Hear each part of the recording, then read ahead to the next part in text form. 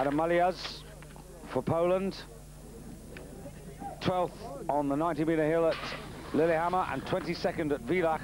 That's where his points have come from this season so far. And he's short. 10th in last season's Junior World Championships, this 18-year-old. Who certainly showed some promise already this season.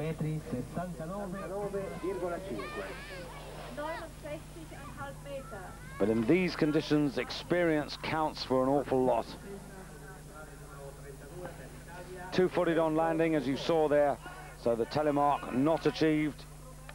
They can take off up to